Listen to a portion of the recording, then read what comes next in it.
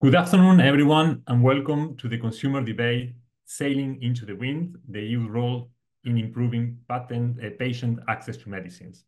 My name is Agustin Reyna. I am the Director General of BEUC, and I will be facilitating this session, where we are very pleased to have as speakers representatives of our Belgian member organization, TestAchat, the European Commission, the Spanish Ministry of Health, Medicine for Europe, and the nonprofit organization GARDP. I would like to thank them and all of you in advance for joining us today on a very critical topic: health and medicines. As we all know, the last years have been particularly difficult. The COVID-19 pandemic has had far-reaching public health impacts.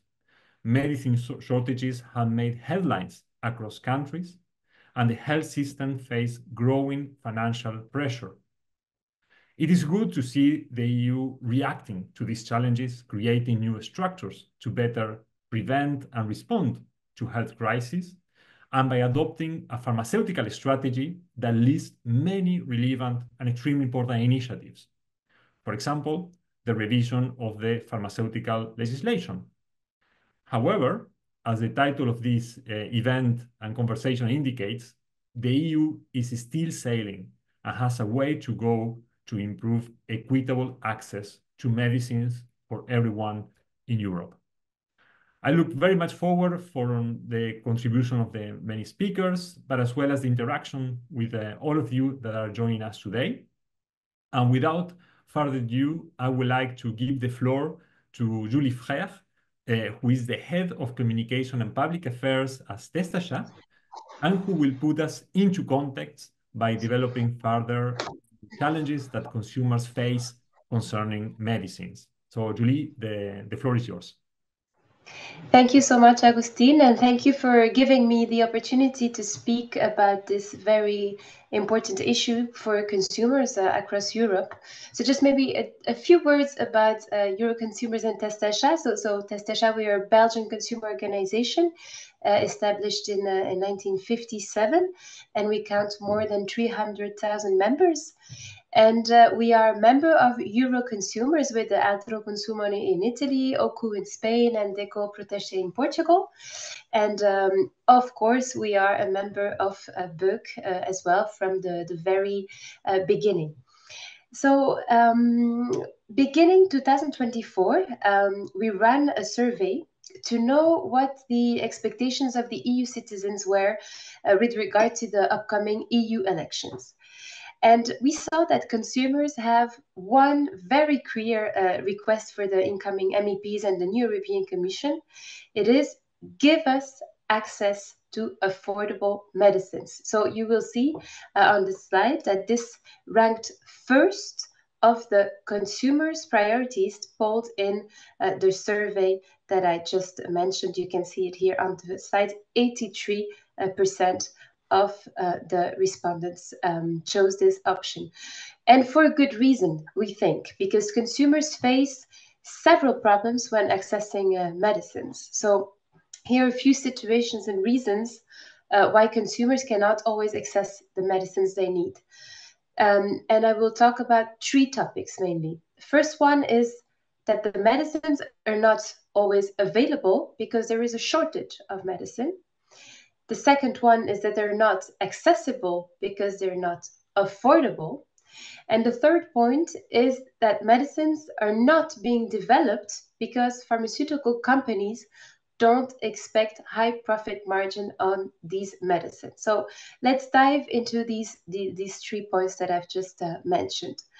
Again, with uh Euroconsumers, we ran a survey Uh, to measure drug shortage prevalence in Belgium, Italy, uh, Portugal, and Spain, and the experiences of the uh, respondents who have been faced with a shortage. So which drug was not available? How much time did they have to wait?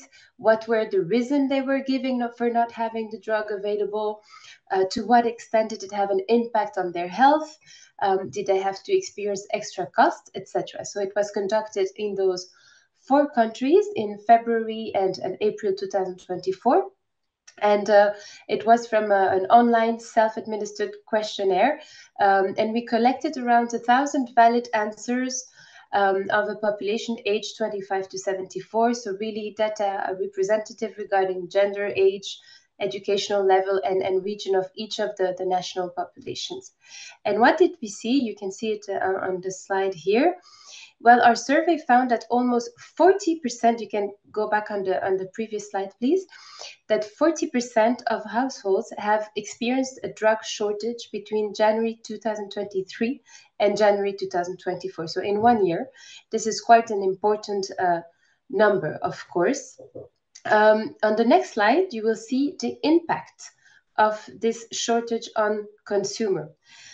The first impact is the impact on their health. So seven, uh, sorry, 53% of respondents experienced symptoms or problems as a result of the drug shortage. You can see in detail, so among those 53%, you see that 50 expressed worries or anxiety for not being able to access their medicines. 40% reported worsening of uh, symptoms. 13% needed to take temporary sick leave. And 12% had side effects of the new uh, medication or substitute medication they, they were taking. So, very concrete impact and effect on consumers' health. The second effect that I would like to show to you today is the cost for the consumers. And you can see on the next slide that 27, 27% of those surveyed experience additional costs because of the supply issues. So either drug-related costs, so you, see, you can see it's 13%, or transportation costs if they had to import the medicine from abroad, for example, medical consultant costs, uh, 3%, and even loss of professional revenue for 2% of the respondents. So again, a very concrete impact on a consumer. So that was the first point I wanted to address with you, the real and concrete impact on drug shortages on consumers' health and consumers' um, money. The second point I would like to address is the affordability of medicines.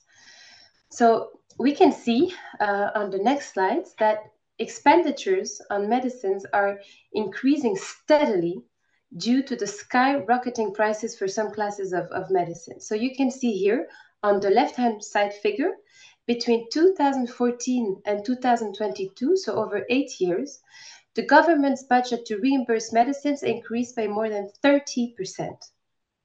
And on the right-hand side figure, it is Equally worrying, it's the large and increasing share of the medicines budget where the reimbursement is negotiated between pharma companies and the government behind closed doors. So, as you might all know, pharma companies agree to give these price discounts to individual member states in exchange of absolute secrecy on the real price paid by the public sector. For us, this is a short sighted self interest strategy that maintains the issue of exorbitant medicine prices and goes again the, the principle of public accountability. Though, of course, increasing medicine prices result sometimes in high uh, cost for, for patients, uh, the impact is mainly indirect as social security systems are reimbursing most medicines. So it's not directly felt by the consumers in their pocket. But it doesn't mean there is no impact. We think, at the contrary, that the impact is, is huge. We can spend one euro only once, of course. So, money we spend for medicines, we cannot spend for other public health needs, psychological care or dental care, for example, which are coming today with a very high out of pocket cost for consumers.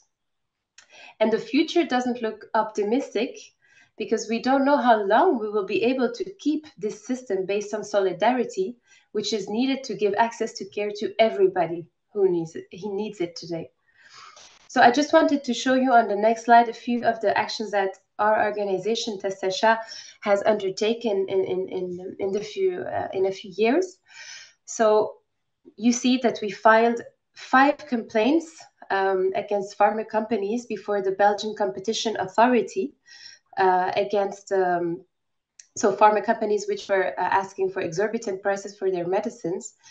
Sometimes we had positive results, like uh, for example, in the case Roche Novartis uh, for Avastin Lucentis, that got fined in Belgium, even though the fine was not huge, but still it was a symbolic victory for us. Uh, the Aspen case that was investigated by the, the, EU Commission is also a positive result, but sometimes we just do not have any uh, results at all. For example, Spinraza from Biogen or Zolgensma from Novartis, we, who really ask crazy prices for these new uh, medicines. So, in conclusion, what we see is that there is a concentration of development of medicines for diseases for which companies can charge unjustified high prices. And we can see that prices of hundreds of thousands of euros, for example, in cancer or rare diseases, are not an exception anymore, unfortunately. And at the same time, what we see is that no new medicines are developed for diseases that companies consider less profitable. And the blatant example of this is, of course, antibiotics. And it, and it brings me to my, my third point. So, what we see today is a market failure. If pharma companies are reluctant to invest in research to develop antibiotics, it is because of the low profit potential as compared to the other medicines we just uh, reported, uh, we just uh, mentioned, and, and, which report them billions. Um, however, there is a high need today for new antibiotics. If you look at the at the numbers, uh, in the EU economic area, we have each year 35,000 people who die from infections with bacteria that are resistant to antimicrobials. So this numbers, this number is a number that has increased in recent years. And globally, the situation is uh, is not better. We have uh, at least one million deaths each year since uh, the 19th, and uh, the the forecast uh, is uh, is rising and up to two million in 2050. And without further policy interventions, global deaths would, re- would reach almost 40 million between 2025 and 2050, and that means the equivalent of three deaths per minute. In contrast, what we see is currently in the pipeline in 2023, those are the numbers for 2023, 97 antibiotics in the clinical pipeline, 32 of them, so a third of them, address bacterial infections on the WHO bacterial priority pathogens list, and 12 of them, so a third again, can be considered as innovative. Only four of these 12 are active against at least one WHO critical pathogen, so the top uh, risk category. So, what can we do, um, and what do organizations like Euroconsumer and TestAchat uh, put forward as, as, a measure that could be undertaken uh, at the EU level. Of course, those measures should be taken at EU level because the problem of access to medicines is multifactorial and member states alone cannot fix it. So the EU has a real important role here to take measures. These are, these are one of the measures that we think the European Commission should contribute to. With regard to shortages, we think that prevention plans should be set up. So, to really strengthen supply chains, the pharma companies should develop shortage prevention plans for all medicines and not only for critical medicines. With regard to safety stocks, to mitigate the impact uh, on consumers of any supply disruption, we think companies should keep a minimum of two months safety stock for critical medicines, and it should be harmonized across all EU countries, not like we see today, where certain countries ask for six months, others for two. So harmonized across the whole EU. And we also ask for dissuasive penalties. So the companies that do not meet their supply related obligations should face penalties that are really dissuasive and harmonized across countries again. With regard to the prices, we think the EU should really facilitate that member states join forces to negotiate prices together with pharmaceutical companies. And there are some experiences that we can build on, like partnerships between countries as Benelux today, or the joint procurement of uh, COVID 19 vaccines by the Commission. So we really think that by way of joint procurement of medicines, the societal interests have more weight in the discussions. And for this reason, the EU should not only be used in the context of cross border health threats, but also for other medicines, like, for example, expensive new therapies, therapies for cancer or rare diseases, for example. And finally, uh, we think that new model of drug development should be put on the tracks. And this should really ensure that medicines reach the market at affordable prices and that drug development focus on the greatest medical needs. So, for example, putting more uh, public uh, condition attached to, to public funding, more support to non-profits, uh, etc. Thank you for your attention. Excellent. Thank you. Thank you very much, um, Julie. That was extremely interesting to hear the yeah the experience from the ground directly. So thank you so uh, so much. Uh, we have some time for questions. If um, someone in the audience would like to ask something to Julie, um, now is the moment. Um, which uh, doesn't seem to be the case. So thank you very much, Julie, for your contribution. And now there is to move uh, into a policy discussion. Um, and I would like to welcome to the stage or to the screen um, Liana Petrosova, Regulatory Policy Manager at And medicine for Europe, Cesar Hernandez Garcia, Director General of um, Common Portfolio of the NHS and Pharmacy at the Spanish Ministry of Health, Rohit Malpani, Senior Advisor at the Global Antibiotic Research and Development Partnership, and Csaba Gali, Deputy Head of Unit for Medical Countermeasures at the Health Emergency Preparedness and Response Authority, HERA, from the uh, European Commission. Thank you very much to all of you for uh, joining.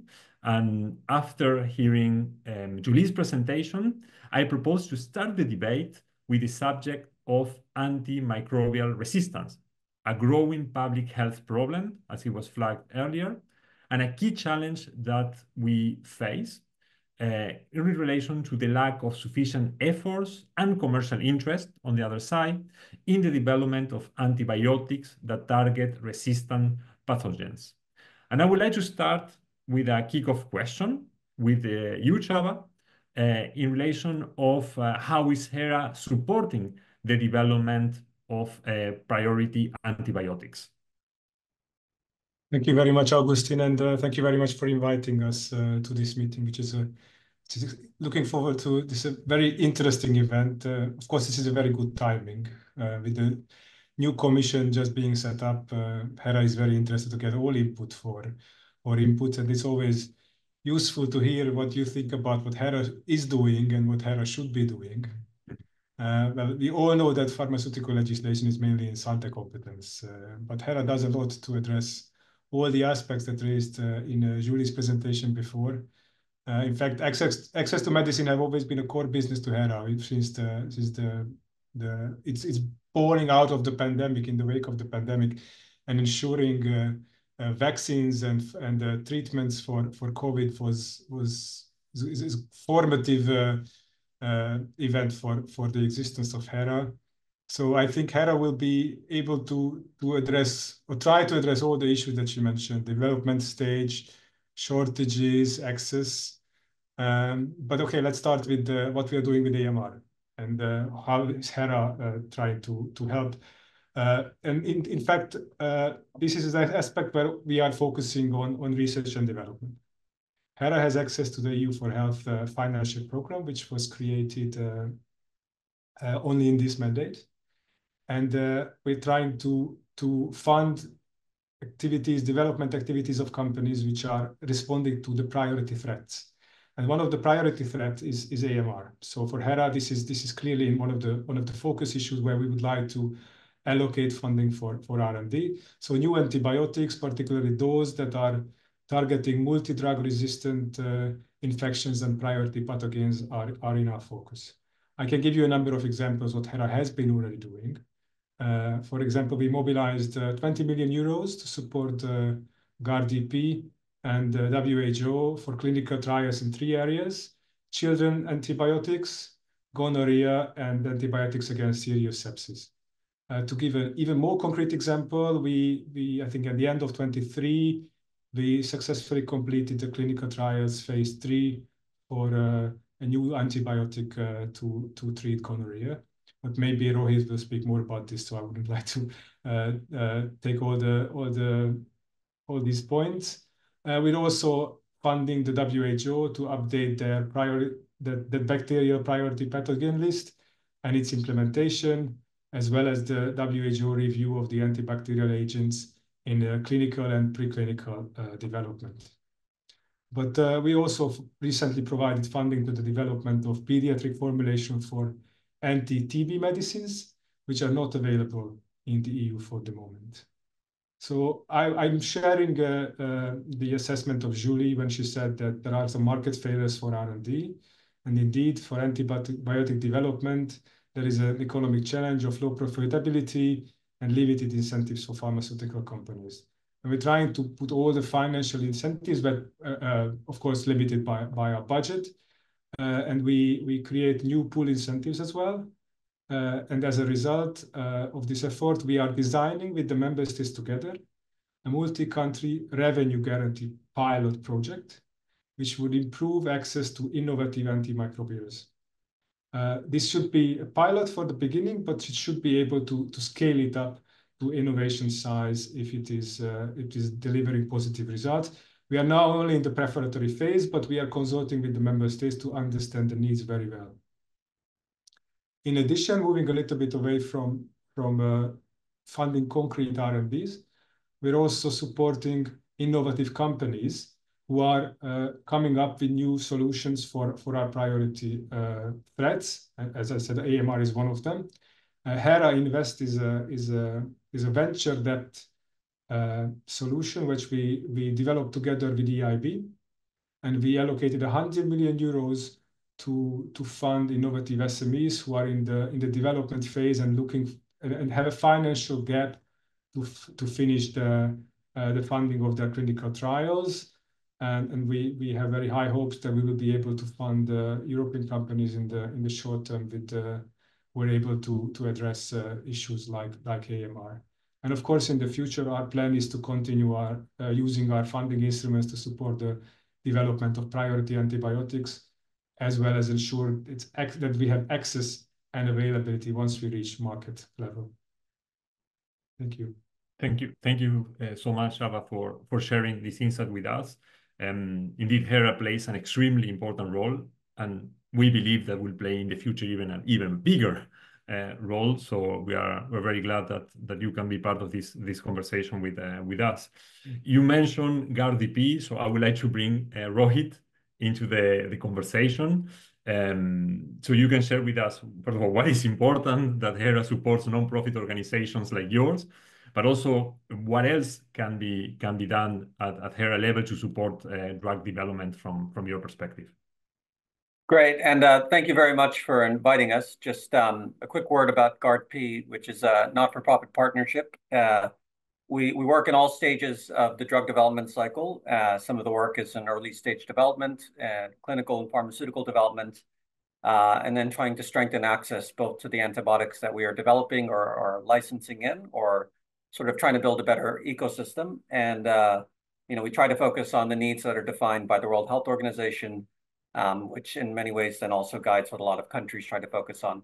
Um, just one word, you know, I think it is right to call AMR uh, a market failure, but it is also very much a public health failure. And and that's important because if if we only see it as a market failure, you know, the tendency then will to only focus on the things that actually provide the greatest commercial return. And so some of the areas in which GARDP is invested in and HERA has invested um, on behalf of GARDP, for example, for neonatal sepsis, there will never be a market for that, but it is a serious public health problem. You know, one out of every five deaths occur in children. And so it's having this broader remit of both thinking as a market and public health failure. Um, so GARDP has sort of three components to its model.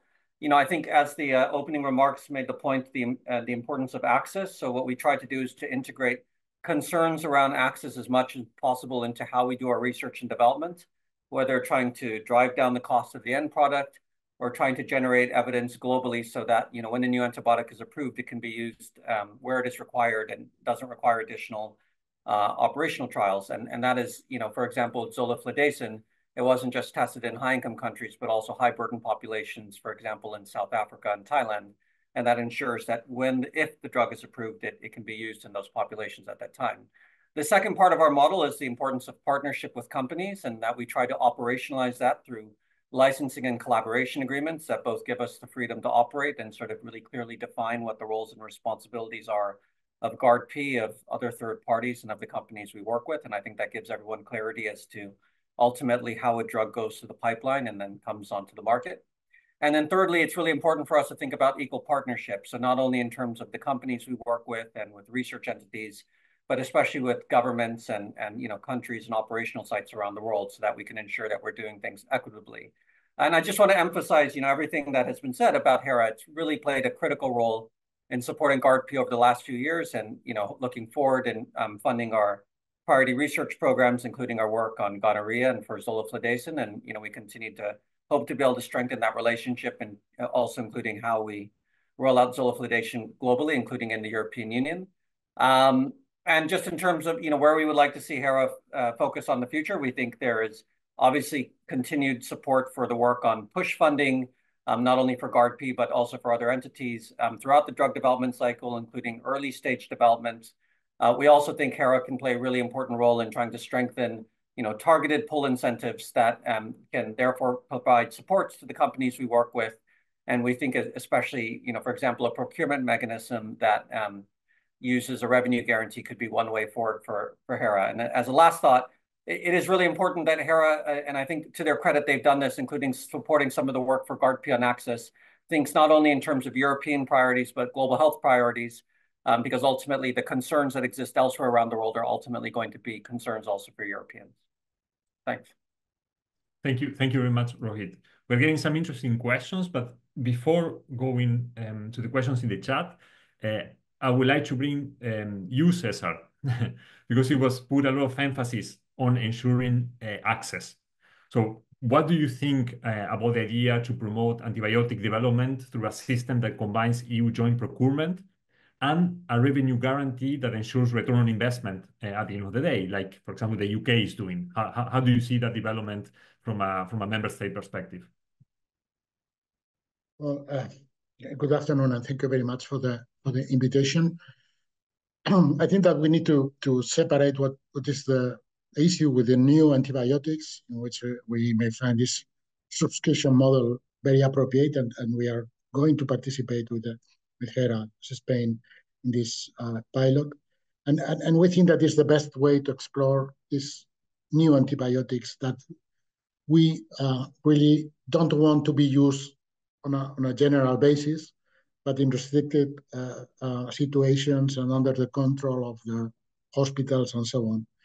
But um, but I think that this very different from the situation of the old antibiotics, and and we also need to to, to address this this point because um, you know this is part of the uh, of a pharmaceutical sector that is really very unbalanced and that combines the as, as Julie has mentioned the issue of the uh, you know problems to access new medicines but also problems problems to access all medicines. You know, uh, 15 years ago, 20 years ago, all new medicines were in the hands of the same companies, and and probably they can offer uh, you know deals that involve uh, both parts. Now it's completely different for, for many people. All medicines have uh, you know lose part of the of the um, you know interest to be a market and and and we need to do something to, to do that. And, and the only way to do the, to do this is to yeah to work on the on pricing policies or to work on procurement policies which in the end is not the same but that can result in the in the in the same. I mean the problem it has been also mentioned by julie the problem with with um, with um, uh, public procurement is that if uh, you do not involve everyone in that in the end you are generating different markets from different with different sizes and you know difficult to manage so uh, and, and it's a tricky situation because I mean with the with the new antibiotics, we can, you know, handle this. I, I wouldn't say exactly as we manage the COVID situation, but but on a little bit non-regular uh, manner. But if we are talking about how we uh, procure uh, collectively amoxicillin, for example, we we don't want to have complex system for distribution. We we want that the patients and consumer access the, the medicines in the in the in the well just as they get access to, to other medicines or in the in the pharmacy or, or whatever. But so it is a little bit more complex to, to, to work with the old antibiotics. In that sense, as a member state, I would prefer, I mean, probably it's a know, one by by one uh, um, case basis, but uh, I would rather prefer more effort from the member states to really uh, have a coordination or agreement in a level of pricing to manage all antibiotics and then distribute and get access in the same way we have that favoring, uh, you know, big joint procurements. I would say another thing, and I stop. It is difficult joint procurement and joint negotiation. I, I was part of the of the um, of the you know European procurement of, of, of vaccines during COVID, uh, participating in the no, in the joint negotiation team. And what we did in that occasion was a kind of joint negotiation with the companies. So uh, we have a group of equals with the same objective, with the same level pretty much of responsibility. Uh, and this is different than just, okay, an open procurement uh, that voluntarily anyone can uh, can apply or not. And, and we much favor this uh, for the future uh, joint negotiation as a, as a whole, uh, increasing the, you know, yeah, the co-responsibility of member states for sure with HERA and the, and the European Commission. But in that uh, part of procurement and access where the main involvement is in the, in the member states, we think that we need to, to increase our cooperation and our, um, you know, uh, have a single voice to to to to speak with other actors in that. Thank you. Yeah, thank you very much, Cesar. Fully, fully agree. I think we can do much more uh, together. And I would like to pick up on, on joint procurement um, later as well. Before uh, moving to Liana and another very important uh, topic that we have, I would like to ask uh, a question to you, Csaba, that was raised in the um, in the chat. If you want to say anything about when they join the, um, the pilot project on guaranteed revenue uh, will start. If there is something you can say on that, we can. Yes, thank you very much. Uh, before that, I would like to subscribe to what the colleague said, that this is a complex issue. This cannot be reduced to simple market failure, of course. Uh, but uh, uh, thank you very much for the questions on the pilot project. We are in the middle of developing it. So member states have expressed interest to participate, 21 of them, which I think is a is a very good number, but I, because they have not yet committed, I wouldn't share uh, um, particular member states is participating or not. Uh, timing is, of course, also depending on the on the member states' uh, participation. We aim to conclude by the beginning of next year, so this is not a, long-term project, but something that we are immediately working on. Super. Thank you. Thank you, Shao, for that, clarification. Um, I would like to move now briefly uh, to another topic that is extremely important in the current, reform, and I would like to start with, uh, you, Liana, on this. Uh, and I would like to ask about the Commission's proposal to introduce in the EU pharma legislation transferable exclusivity vouchers to promote antibiotic um, developments. Just for the audience, as a, as a way of uh, background, background information, and the way these vouchers would work is that uh, in exchange for of developing a priority antimicrobial, the pharmaceutical company will get a voucher that allows it to expand the monopoly of a more lucrative medicine of its own, or to sell it uh, to another company uh, to be able to do the um, uh, to be able to do the same. So then my my question uh, is: Are transferable vouchers uh, a good tool to promote the development of uh, anti antibiotics, and particularly to you, Liana, uh, what will be the impact of these vouchers to generic and biosimilar competition? Thank you, Agustin, um, and thank you so much for inviting us to join this discussion. Um, so as as you just said, you know, uh, Medicines for Europe, we represent generic, biosimilar, and value-added medicines. Um, so as a disclaimer, you know, our companies are not in the market of uh, developing new um, antibiotics as such. Um, so obviously, I will be looking at it from the perspective of uh, market entry for um, generic and biosimilar product, um, where obviously we see a number of issues with uh, having a voucher uh, or having a voucher system. Uh, and first of all, I, would like to go back to the point that Julie mentioned at the beginning of the presentation that you can really only spend one euro once. Um, and I think this will be a big uh, problem in case of the transferable vouchers, because of course it will essentially delay uh, market entry for generics for probably a number of blockbuster um, products, um, and it would have a huge impact on um, the healthcare budgets. And um, as we we mentioned before that, um, I don't know to what extent this is an impact that healthcare budgets can really handle. Um, so that's why we as Medicines for Europe advocate, you know, for different ways of uh, incentivizing um, development of uh, antibiotics. But at the same time, um, we also have to recognize that AMR um, as a problem, it's uh, very multifaceted. And one of the big um, issues with it is that access to existing antibiotics is just as important as access to new antibiotics. Um, so having right antibiotics on the right time with the right patient um, is uh, absolutely critical. Um, and I would say that we can't be looking at it only from the perspective of developing these new products. We have to think of how we can preserve access to the ones we have um, and how we can really make sure that uh, we have sustainable access to the antibiotics that have been in use for a long time and are still effective, and how can we make sure that there's no overuse um, and that um, there's, you know, um, reasonable approach to um, to keeping this existing antibiotics on the market. Um, and another point that I wanted to actually bring up to Csaba is um, we're very happy to hear that um, that DG HERA is supporting development of new products, uh, particularly you know with initiatives like GARDP. Um, I think one area where we would like to also see more support is in um, kind of supporting adaptive innovation or repurposing what we call it. Um, and really trying to look into the existing antibiotics and how we can make them better? Uh, or how can we create new formulations um, that will add value for certain, you know, um, population groups, uh, for example, pediatrics. Um, we know that you had these grants for um, development of new formulations.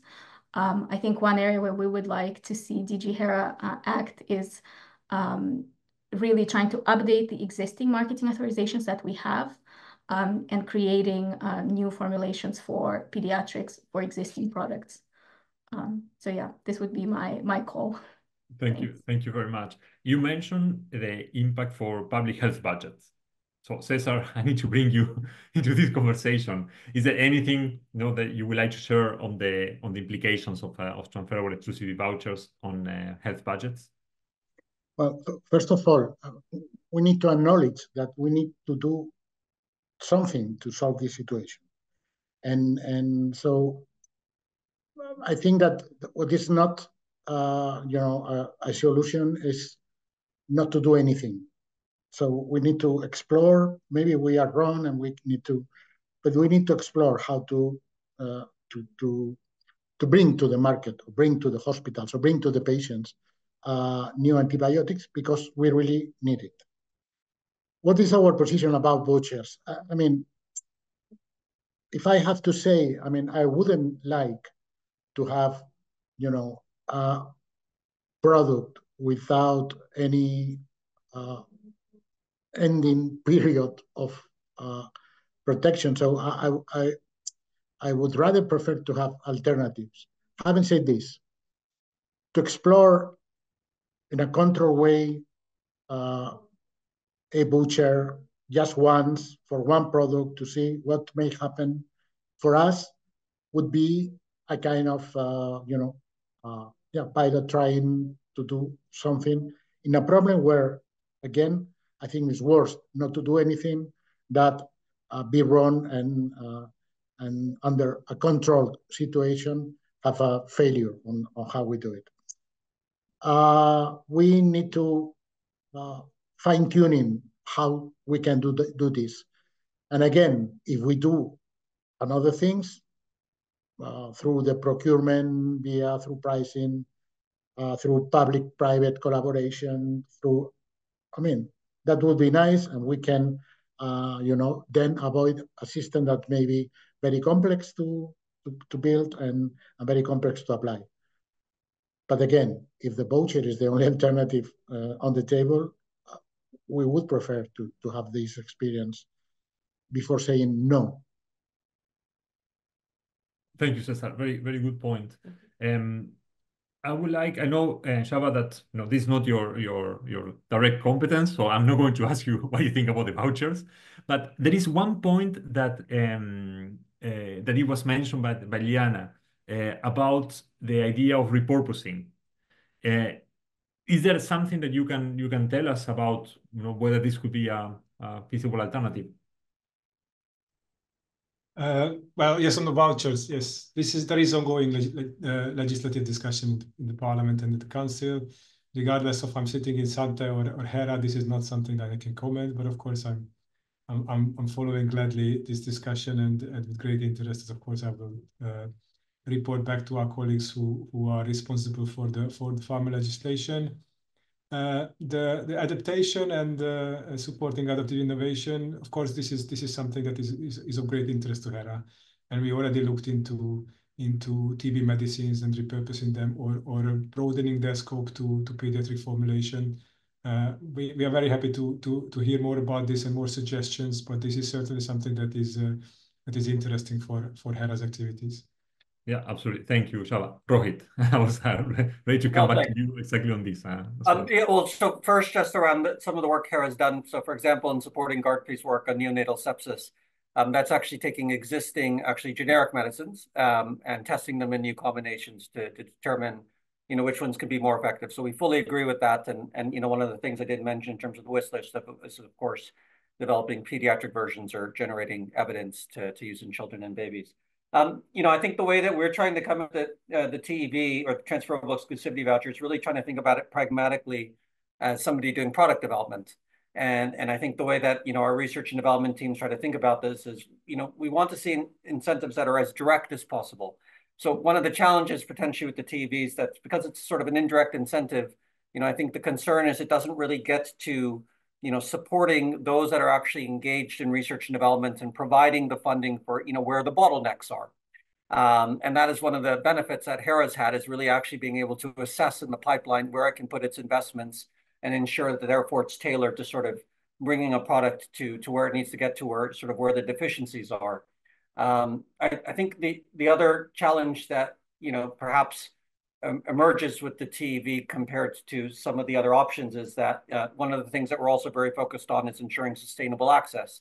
And one of the benefits, for example, of um, some of the other proposals, for example, like revenue guarantee, is that it creates a contractual relationship essentially between a member state and a supplier, and it ensures that you have sort of a, a stickiness so that um, you know there are obligations both on the government to be able to pay rightfully for the research and development, and then also for the supplier to ensure that it's meeting certain requirements in terms of registration and pricing and supply. And so, you know, but uh, I think I would agree that we, we do need to see something emerge. But I think we really have to make sure we get this right because um, we, we recognize that there's a real need and, and that there are different options that are out there that, you know, should be tested and ultimately should be brought forward. Yeah, absolutely. Thank you. Thank you so much, uh, Rohit. I would like now to go back uh, to the question of procurement and safety safety stocks. And I think it's really important we touch base on equitable access to medicine beyond cross-border health uh, threats. And as Julie uh, mentioned, the prices of new treatments are really high. That's a reality we have to face, especially in some therapeutic therapeutic areas. And as a result, uh, you know, public payers have to make difficult choices about which medicines are going to be uh, reimbursed, and patients, especially in smaller member states, face greater you know, challenges uh, because pharma companies are not always interested in launching their products uh, there.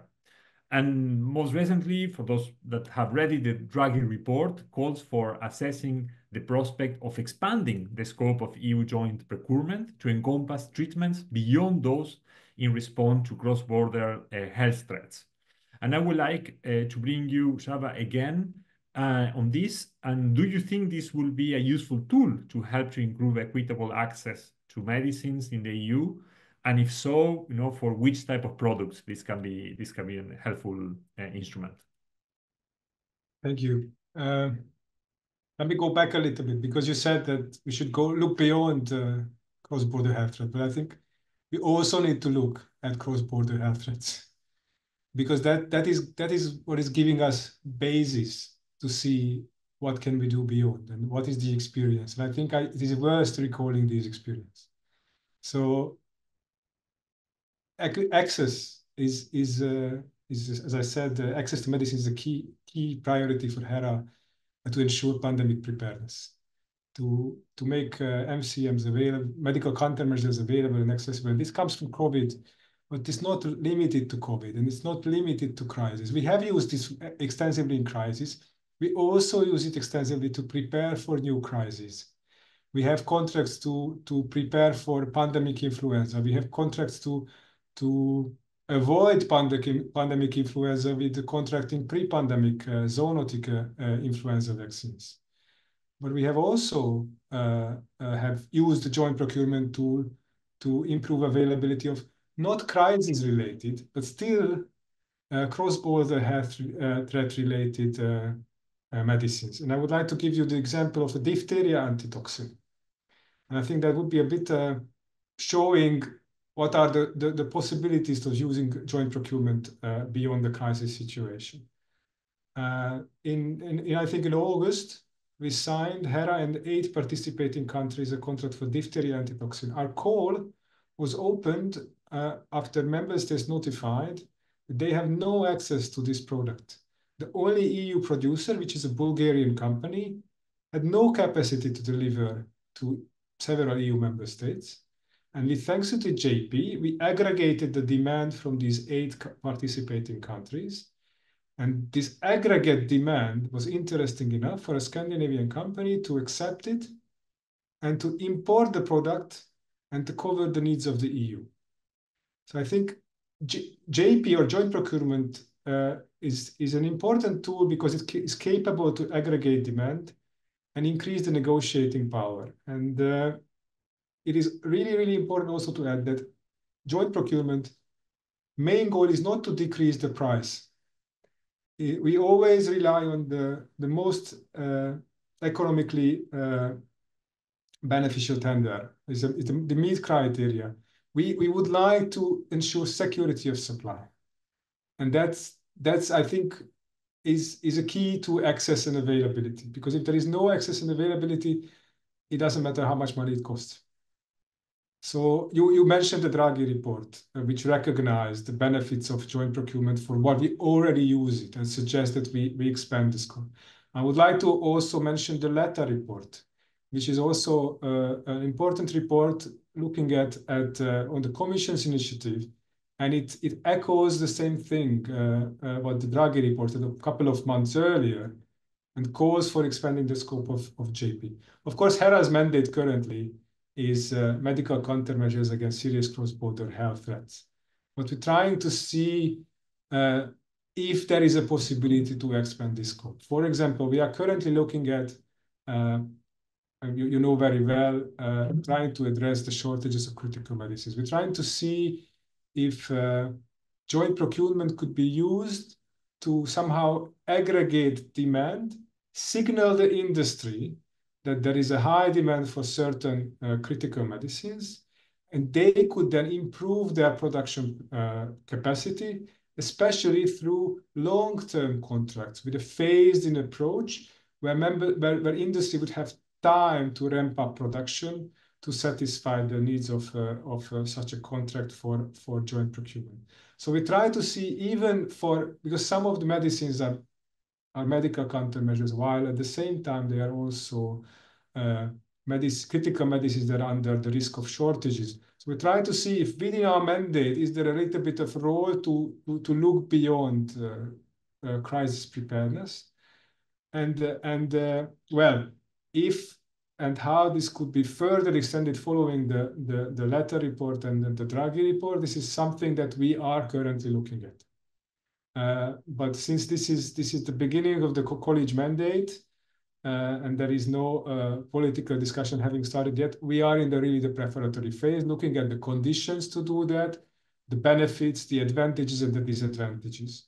So I'm I'm really looking forward to what the participants participants in the panel have have to say about this, because, of course, this will be important lessons for us. Indeed. Thank you. Thank you very much. And uh, and of course, uh, we need to learn from the past. And obviously, you know, cross-border issues, you know, looking from a single market perspective, have taught us a lot about uh, joint joint joint procurement. And like you say, you know, affordability and accessibility are the two sides of the same coin. At the end of the day, we need to ensure that those medicines reach, you know, the hospitals, reach the consumers and the patients. Um, on public procurement, I would really like to hear from um, uh, from you, Cesar. Know, you mentioned already this as a as a tool. Um, for which type of products, you know, we could uh, implement it, or would be more interesting for a country, or if I can say, a big country like Spain? Are we talking, for example, of medicine for rare diseases? So where do you see uh, opportunities, um, in in your case, from for Spain in in joint procurements? Oh, thank you. This is a good question. Um, well, first of all, um, I think that we need to use any tool, and probably in different situations, different tools can be uh, of value. So so we cannot dismiss any of the of the tools that we have uh, on board. Second, uh, from my position right now, I think that we need to build a group of member states with the same responsibility on price and reimbursement to really take steps forward to, um, you know, to be able to negotiate uh, for different medicines, not only for cross-border threatened, uh, but also for ultra-rare diseases, probably, or some, Uh, you know, medicines with a high impact, where to really take the value of uh, um, 450 uh, million people in Europe, it's, yeah, it's it's a must for for, for us. It's the same. I have to say that, for me, it was very encouraging to see, in the case of vaccines, where how we were given as member state, and for sure, under the the you know, the the background and the umbrella of the commission, to start the vaccination in the COVID at the same time in all countries. I think that it would be very difficult to explain that different countries uh, gave access to their citizens uh, to the vaccines in a different time. So, I mean, taking into account that we have different markets, different sizes, different countries, different practices, I think that we need to to to reach an agreement on how to move forward with these problematic products. Products where the the issue of having access in one country and not in another is really difficult to explain to the citizens that belong to a club of 27 uh, member states. So, uh, we need to... To, and we have next week um, a meeting of the so-called national competent authorities on price and uh, reimbursement to take steps forward in how to organize ourselves to really work in that in that way. How to to yeah, even in the in, in the in the future uh, have the possibility to start a negotiation uh, on behalf of the 27 member states. And I think it's quite important. And again, in that situation, is not a joint procurement. That is just uh, what? It's not just, I mean, to say just is not because it's a low value, but it's only the the aggregate demand of of different countries.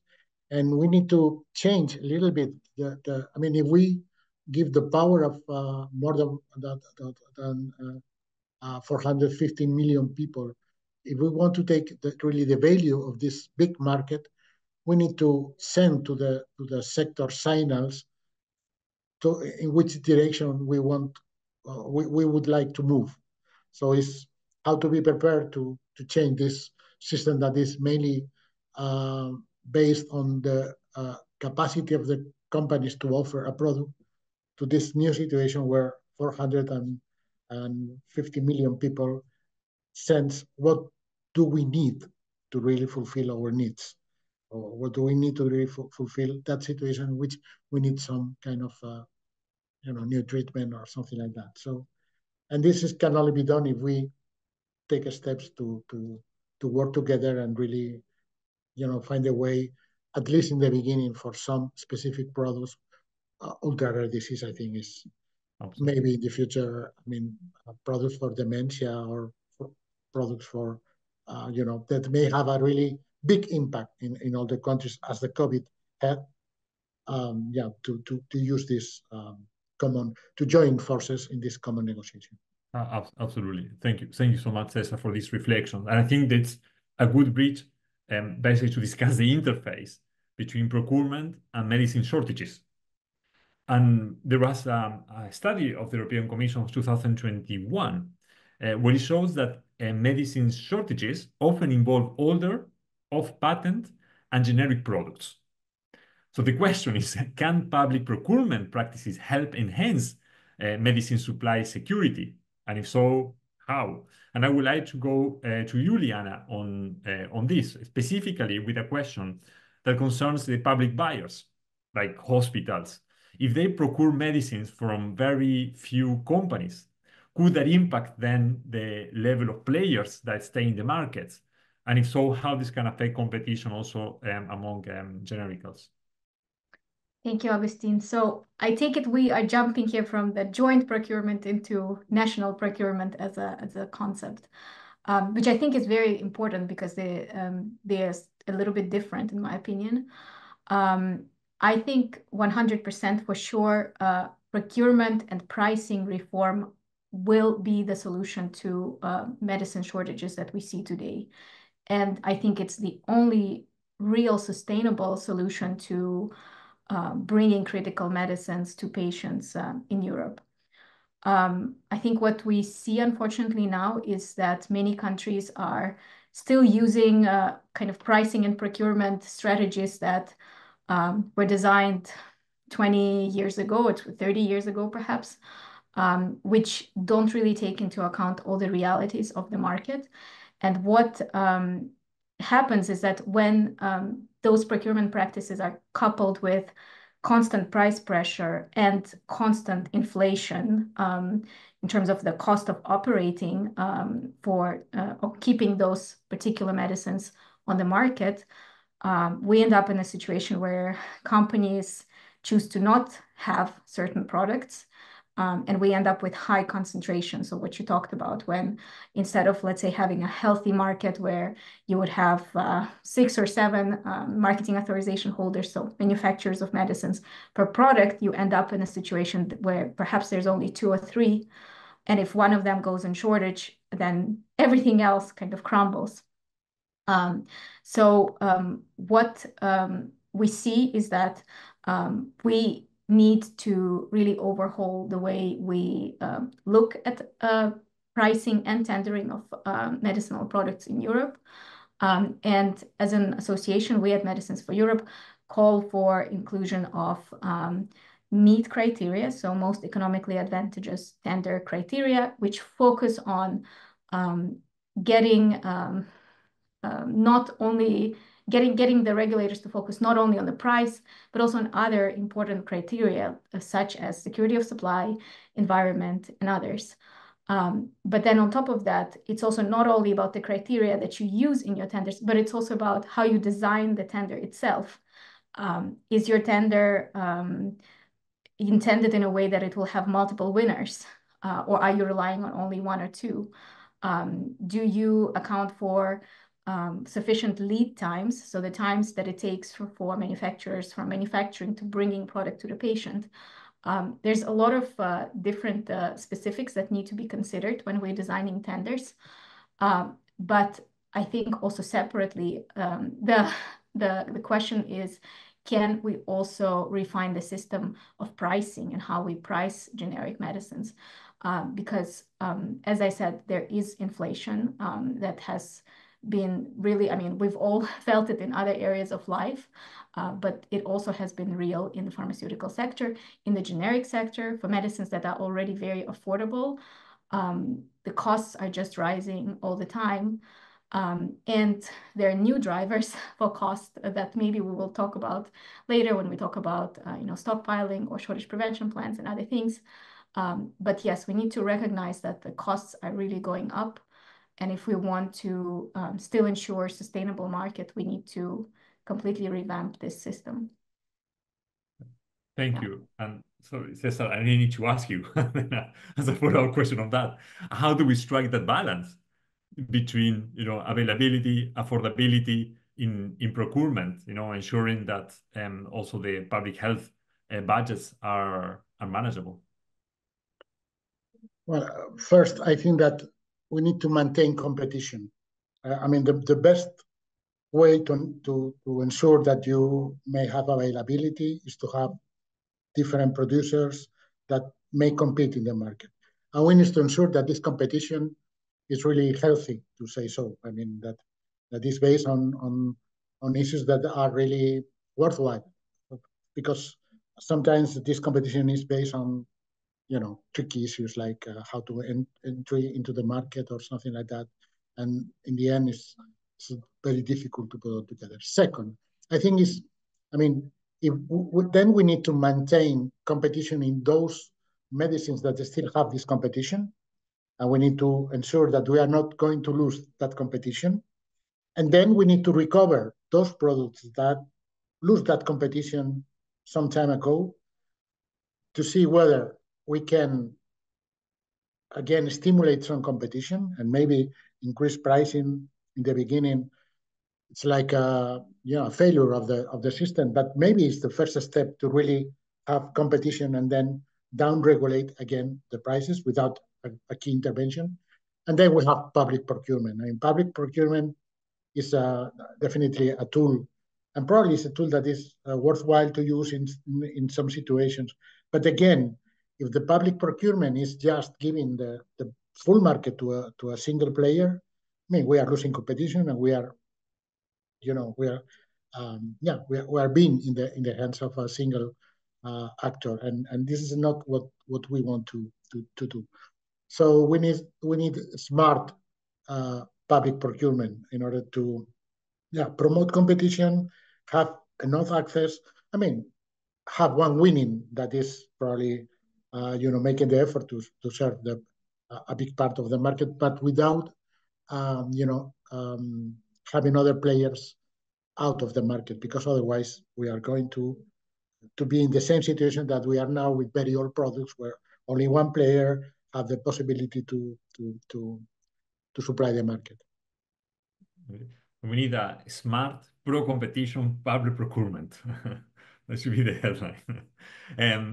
Rohit, sorry, Cesar, you want to say something on this? Probably not easy. But uh, I mean, but but it is important that we have these key ideas in the in the mind because otherwise, I mean, to be honest, let me say so. I mean, one of the problems that we have with public procurement are when I mean, when you try to to to to to have these smart processes, in the end, there is one auditor or someone that following the the public procurement laws say, "Okay, you have to rely only on price and avoid any other uh, consideration." And this is not fair. And this is not fair. And this is what uh, probably has uh, you know, um, provoked in the end the situation in where we are. Thank you, Cesar. Very quickly, I want to go to you, Rohit, because GARDP has its own procurement policy. Uh, so, is there something very brief that you can tell us about you know, how you learn, what you can bring us from that experience, and what criteria do you consider when when choosing a supplier? Very very briefly um, before we move on. Yeah, very quickly. I'd actually turn it around. So we do have a procurement policy, but it's actually more that we have to think as a developer what we need to do to provide um, drugs to procurers. And we also are working with governments to develop full procurement systems. A few things to think about. So fully agree on on the importance of affordability, but also in terms of maintaining certain prices. Some of the generics manufacturers that we're working with are, you know, they're willing to take the risks to enter into some of these um, product categories, but want to ensure that there is, you know, at least um, some level of return that they can receive. So that, that is important. I think, though, there's a a corresponding um, part of transparency there. I think, secondly, we, we do think security of supply is important. So certainly in terms of multiple suppliers, to be able to ensure that when one is unable to supply, that others can step in. And then really importantly for us in the antibiotic space is the environmental consideration. So we do require our sub-licensees to meet certain standards set both by the AMR Industry Alliance and the World Health Organization, and we're even trying to go beyond those. In terms of pooled procurement systems, uh, it it, really is just important that, uh, again, countries do. we, We are trying to work with countries to develop sort of joint collaboration mechanisms so that they can provide a clear signal to manufacturers as to what their demand is. And and it is something that we think is not only going to be beneficial in low middle income countries, but for the European Union. Thank you. Thank you, Rohit. Always really interesting to hear your your experience.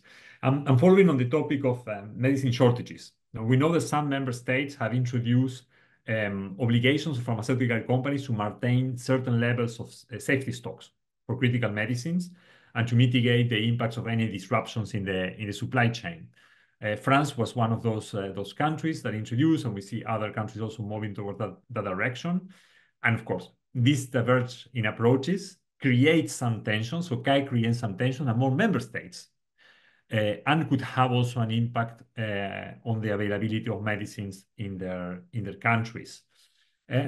So I would like to to hear um, your opinion about the safety stock obligations, and perhaps starting with you, uh, Liana, um, in relation for which type of products do you think uh, this could be this could be important and justified? Um, thank you for this question. Um, I think we've seen indeed that more and more countries are now introducing the stockpiling criteria. I think one of the important things that we need to consider here is that um, we as an industry usually see that shortages are not pan-European. Um, most of the shortages are concentrated in, let's say, two or three countries. And usually, the best way that we can solve them is by reallocating and moving product from one place to another. Now, in case when there are national stockpiles, Uh, this essentially means that it's not so easy for us to reallocate product and that, in fact, a certain amount of product just has to sit somewhere in a country without us being able to use it for any other purpose. Um, As you can imagine, the the industry, the the pharmaceutical industry doesn't uh, like this kind of approach to to stock keeping because, A, it is expensive. in In most cases, Uh, it is the manufacturer that has to pay for the upkeep and the costs of those products. B, it is wasteful, um, obviously, because once if there are um, risks of products expiring, and then there's high risk of write-offs. And then lastly, um, this really is a hurdle to flexibility and solidarity in bringing products between different countries. So I think I would say that perhaps there are areas where you could consider stockpiling, uh, but right now, uh, we see it more of as a hurdle uh, into solving shortages rather than um, a solution. Um, and um, we also obviously see that it creates a discrepancy between the countries and a preferential almost treatment of certain countries you know, that have stockpile obligations. And you also need to keep in mind the fact that, as I said, it is increasing the costs of keeping a product on the market, right, the stockpile, uh, which further exacerbates the issues that we talked about before um, on regarding to competition. You know, when it becomes too difficult to um, to pay for an upkeep of certain product, there is more likeliness that companies will um, choose not to. And that's why we also need to be very careful because if you are going to introduce, let's say, stockpiling for certain older products that are already at risk of shortages and that already um, maybe have rather vulnerable supply chains um, in terms of the amount of you know um, actors on the market, then you may actually inadvertently exacerbate the problem and actually make it more difficult uh, for companies to, to keep these products in their portfolio. Thank you. Thank you, Liana. César. how do we deal with this? Do we I need thought to I, I was next. stockpiling obligation? Is that the solution? No, I mean, first, I think that uh, I can understand why some member states have forces these uh, stockpiling policies, because I have to say that the way some companies have behaved uh, with these shortages very have put the, the, the, the agencies and the and the governments in, in, in difficulties. So first we need a yeah we, we need a to understand each other in how this process of shortages and uh, uh, you know uh, works in order to find the best solution. So having said this, I think that the stockpiling is more um, defensive um, action than a proactive uh, solution of the of the problem. And it may introduce, you know, uh, differences in the market. So it may privilege those with a, with the obligation for stockpiling, maybe create the incentives for the second or next to double the stockpiling of, of the product, and then the third, and you know, and this is not going to to to be a solution. Second, I regret to say that for me it's very difficult to uh, understand how the companies are going to deal with this stockpiling obligation without increasing the price or trying to, you know, recover the cost of the stockpiling. So in the end, it's, it's uh, uh, uh in our shoulders to to have the, the solution. So if we, uh, I mean, I, I, I come to, to the beginning of my intervention. I understand why in some uh, uh, um, situations we need to guarantee that we have stockpiling of the product because we cannot uh, live without uh, any product. But to have stockpiling as the solution of the shortages, I think that is very wrong idea. That we need to work in other uh, direction, trying to identify how to, you know, uh, have uh, shortages out of the agenda and uh, without stockpiling. I think that part of the problem, uh, sorry if I come back to the same, is that, uh, you know, the, the, the, regulatory framework in Europe is, is only, sorry, the, the, the, the pharma package in Europe is mainly regulatory and has not competences on price and reimbursement. And we need to put all together in the same line because otherwise the solutions are only partial solutions and not uh, solutions that can uh, uh, you know, take the, the problem as a whole uh, or um, look at different uh, solutions in different parts of the of the problem. But then um, one can look, of course, at the cost of stockpiling, but also the cost of shortages, because at the end of the day, it will, it will, cost you more in treatments. The cost of shortages is enormous. I, I can enormous. I can tell you, we we did a, a study 12 years ago. I mean, this this is a problem that has been under the level of detection of the radar for many many years, but it's it's a problem that has been there for for a long long time. It entry into the political agenda maybe five six years ago, but it's long-standing uh, problem that we have all around the world. I mean, it's not in, only in Europe, also in the US, also in other countries. It's a complex problem, and we need to try to identify what are the main problem for the for the and try to to to put the solution. I agree with you. The cost of shortages is enormous. Direct cost, indirect cost, um, you know, time from professionals, time for patient for for patients, and and and but again, there may be, without uh, saying that uh, stockpiling may be part of the solution in some circumstances, but there may be other solutions to address this this problem. That is that that are not just you have to increase your your your level of uh, stock. No, absolutely, absolutely. Um, uh, Rohit or Liana, you want to come come on this? Rohit, maybe from your side? Yeah, I, I mean, just quickly, you know, we, we uh, work through a program called Secure with a lot of low and middle income country governments to basically think about how to have a good package of policy solutions for equitable access to antibiotics. It's something that HERA has helped to support actually during its uh, last funding cycle.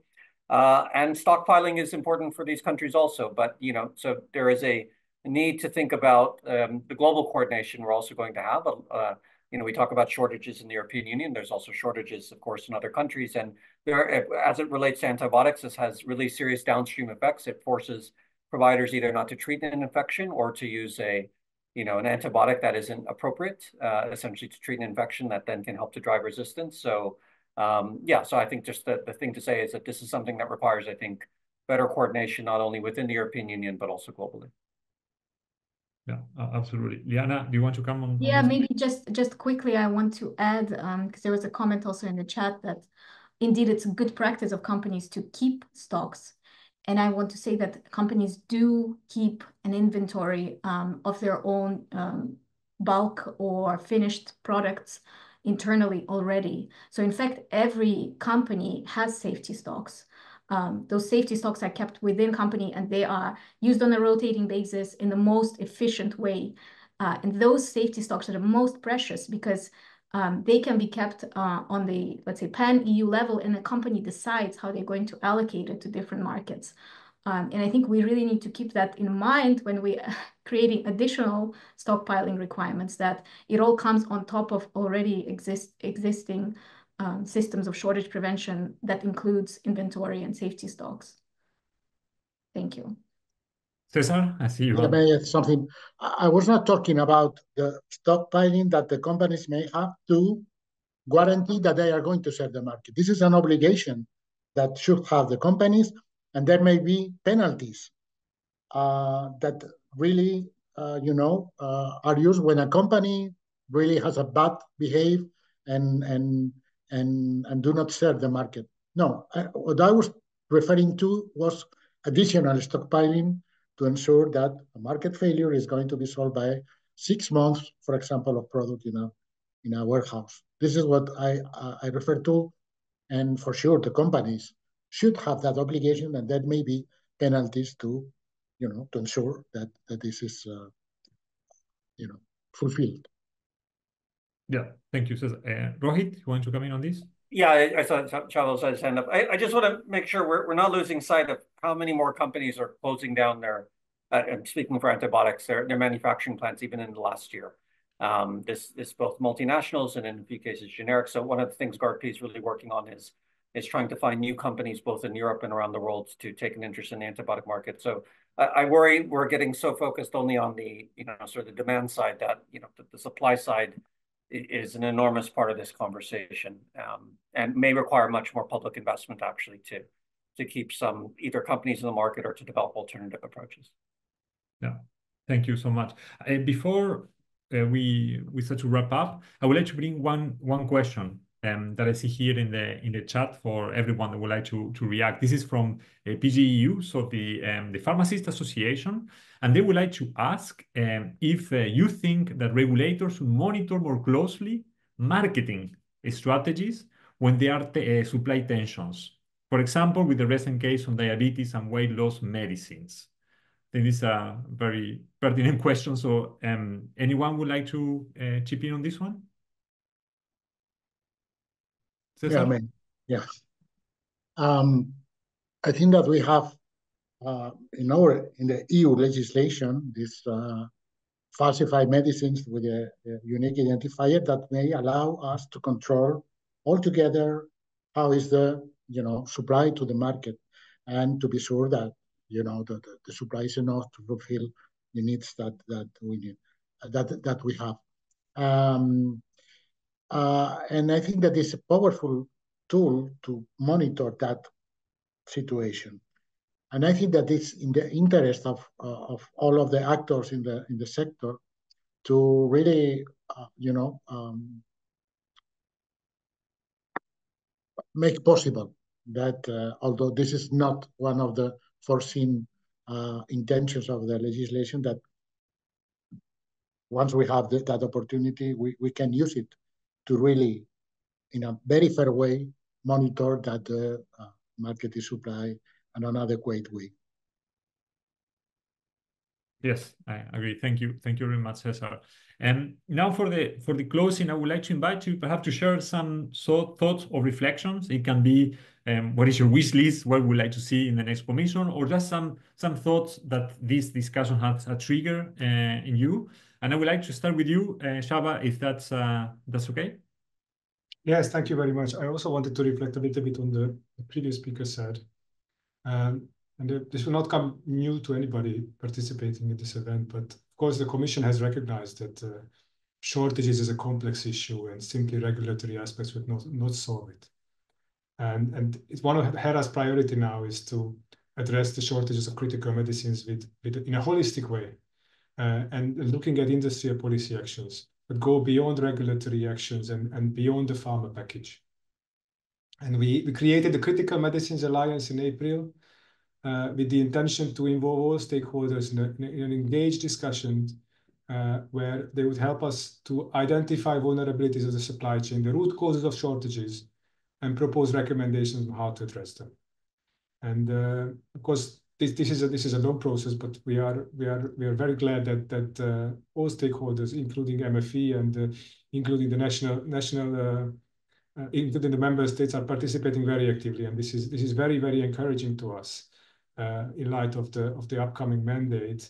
And uh, on the topics that you mentioned, the alliance looks at at all aspects. They look at how procurement and the procurement practices shape the way that shortages occur and how the procurement practices, changes to procurement practices could maybe use to address shortages, including the possible extension of joint procurement, including the use of MEAT criteria, including the, the, the different practices that the national, the national uh, uh, procurers could follow.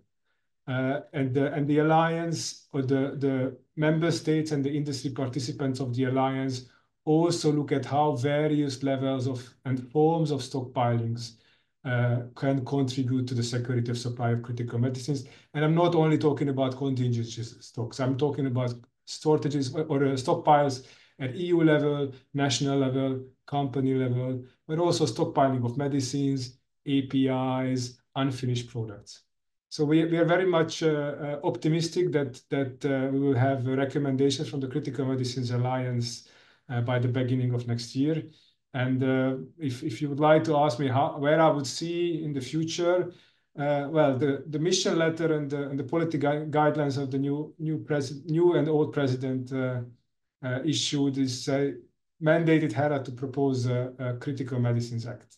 So I, I hope that in five years we will just have the co-legislators adopted the Critical Medicines Act, which will reassure the industrial players and create an, a framework for them to, to ensure that uh, we have a strong industrial base in the EU on critical medicines or in all medicines uh, in, as, a, as a secondary effect, which will, uh, which will address shortages. And that I hope that uh, the Commission will put forward a, robust proposal that will already have the signaling effect that, uh, that Cesar mentioned, and we will already see the, the first result uh, on, on addressing shortages. Excellent. Thank you. Thank, Thank you. you so much, uh, Csaba. Hey, Rohit, very briefly, your yes. wish so uh, just uh, probably a bit of a repeat. Um, I think first, uh, obviously looking a bit just from the perspective of GARDP, the, the need to make antibiotic resistance, you know, not just something that is sort of one of many priorities, but just simply seen for what it is, which is really a cornerstone, uh, the need for antibiotics as being a sort of cornerstone of medicine and where, you know, the investments can be made over the long term with the form of certainty and, and really seeing this as, as we think it's a form of almost public infrastructure. Um, you know, we think this is what's really positive about HERA is that you sort of have now uh, an entity in place that can, you know, strategically support research and development and access. And, you know, we, we hope that there continues to be the funding and the political support for HERA to continue to make these decisions on behalf of the European Union and also to think more broadly in terms of global health need, whether it's for push funding, and as we talked about earlier, you know, really targeted pull incentives such as a revenue guarantee model. Um, we want to make sure that we, we kind of get away, and I think you're sort of touching on this a bit with the stockpiling, both within Europe but globally, not to create dichotomies, false dichotomies between needs in different parts of the world or different populations. So we really have to think of research and development and access models that really are trying to focus on global public health needs and the needs of populations that you know may not seem urgent at the time in the European Union. And then just finally, in terms of access, you know, we do agree, as in the opening remarks, that this is a, you know, continues to be a really serious concern. And, you know, again, we think in the model that we're developing to really try to integrate as much these access considerations upfront so that, you know, we can narrow the gap between when you sort of have access in countries that have the most resources to those that have the least and the populations that have the least. Thank you. Thank you, Rohit. Cesar? Yeah, I appreciate very much all the efforts that uh, we are doing all together to to really find a solution for this, because it's a it's a huge problem. We need to rebalance the system. We started speaking about the yeah difficulties in availability of new expensive products. We end up in the discussion of how to uh, create the incentives to recover all very cheap products that we also need to recover. We also talk about increased competition. Uh, we need, and this is part of, of, the of the equation, we need to ensure that we as Europe uh, have the resources and the facilities to produce medicines and not and to decrease, not to avoid uh, globalization, but to decrease the dependence on third countries. We also want to, to be leaders in science and development and public uh, research and, and public-private collaboration. So this is a very complex system, and we need to, to have a to take a look at the system as a whole without trying to uh, intervene in each and any of the um, parts of the system with partial solution because uh, only we consider this as a whole and we uh, clearly identify what are our uh, mandates and objectives uh, we will succeed on that. And to do that, I think that we need to join our forces to, to, to work on that. Taking into account that what we need is a kind of group of equals, so people with the same level of responsibility, the same level of um, yeah accountability on, on, on in front of, of, of their citizens. That, to be honest, it was what made a success the, pro the, the, the, project of uh, public procurement of vaccines in COVID. So solid direction and the implication of people with the same objectives, the same level of political representativeness, because it is important that uh, I mean we we we, are, we we do not make this a uh, for sure it's a technical discussion, but in the end there may be uh, you know political decisions to uh, to to set up a direction in which we want to move. Absolutely. Thank you. Thank you so much, Cesar. Last but not least, Liana, from your side, very briefly. Thank you. I'll be very brief because, um, to be honest, most of it was already uh, um, said by by the other panelists. Um, I think I would um, echo what uh, Csaba said at the beginning about the Critical Medicines Act. Um, so in five years' time, I really hope that the act is operational, that we have a very good symbiotic kind of relationship between the industry and European Commission, where we're able to really address the problem of shortages from different perspectives, both the manufacturing um, and you know investing in manufacturing in Europe, uh, but at the same time addressing those um, kind of high level problems and uh, particularly around pricing and procurement. Um, and I, I really hope that in five years we have way less shortages than we have now. Thank you. Thank you. Thank you very much to all of you. Also to the audience for being um, so active. You know, the, the chat was on fire. So I think all the, the participants and the um, and the speakers will be able uh, to see all the all the reactions. And just a very final uh, point from uh, from my side and on behalf also of um, of BEUC, we cannot forget where we're coming from. You know, 10 years ago, this would be unimaginable to start talking about joint procurements. So much had happened since then, and we have been able to build on past experiences. Many of them, they were the result of crisis. You know, I think COVID-19 was a game changer in, in European policies and in, a, in the health um, in the health sphere as well. And so I'm, I'm convinced that we can move forward. Uh, there are two points that we will raise. Uh, we will need to do more together in order to rebalance uh, the system. And I really hope, like Jana, you say, that in five years' time, when we revisit this discussion, that we do not face especially consumers, patients, and, and governments, we are not having the same discussion about the need to tackle uh, shortages. And that is because we have been able to rebalance the system and have a good um, a good mechanisms or a toolbox uh, in place uh, to ensure availability and affordability of, uh, of medicines. So that's uh, from our side. I would also like to thank um, all the participants, also my colleagues, uh, Sandra, and Christina, who were fantastic in putting this uh, event together. And I wish you all an excellent evening and we will surely continue this discussion in this forum and other places as well. So all the best, and thank you so much for, for joining today. Bye-bye. Thank, thank you very much. Thank you very much.